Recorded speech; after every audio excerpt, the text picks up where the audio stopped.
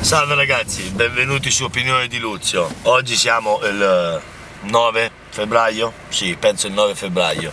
Ore 11.45. Come al solito un tema scottante da Opinione di Luzio, una visione che, eh, del tutto nuova che non hanno eh, calcato i nostri eh, palinsesti televisivi. Ebbene sì, vi voglio portare alla cronaca quello che è successo a un, a un signore inglese che naturalmente vi, eh, fino a poco, pochi mesi fa viveva nel mondo della politica, in cui grazie ai gossip nel 2010 per colpa della moglie che ha dichiarato che la multa per l'eccesso di velocità l'aveva presa il marito e lei aveva detto una, una falsità davanti al, alla polizia, ha dichiarato il falso, lui si era tolto dall'incarico dal governo, però in attesa di condanna il partito l'ha tenuto ed è rimasto nel, nel Parlamento.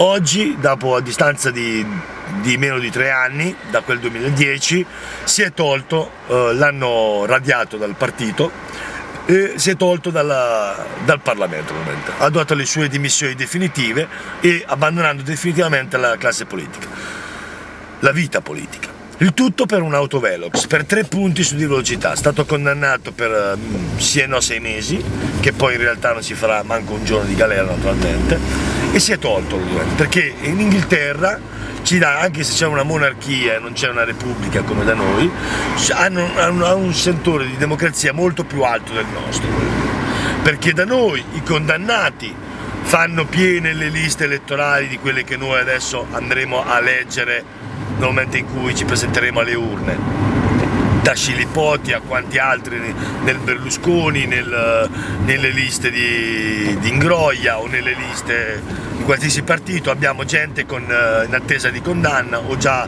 stati condannati eh, tempo addietro e via dicendo.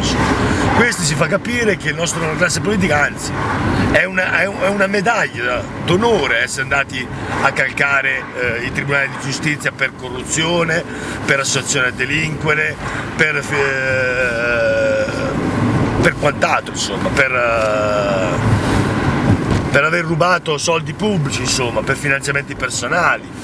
Adesso non voglio fare l'elenco di tutti insomma che non serve a niente e mi sembra che anch'io dopo vado a caccare la solita demagogia.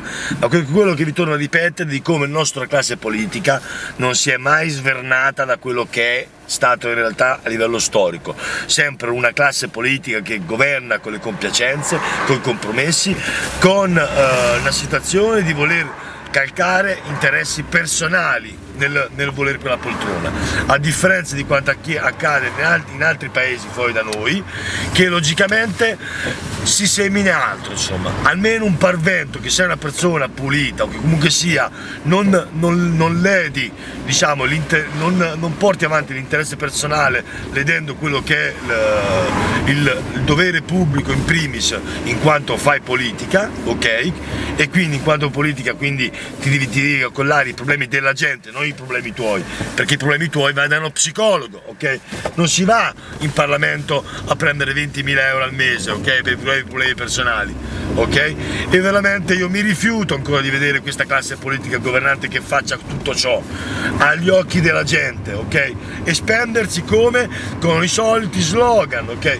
promesse del cavolo, c'è chi, chi, chi fa gli inciuci ancora a livello programmatico, con le belle parole, naturalmente, per, a, per accogliersi suo, la sua fetta di pubblico, è naturalmente molto meno convincente, e c'è chi invece, come al solito, da Maroni restituiamo il 75% delle tasse alla regione Lombardia, a Berlusconi toglie l'IMU, a quell'altro diamo il condono, quell'altro ancora diamo l'amnistia, così con questi bei slogan la gente come al solito che fa?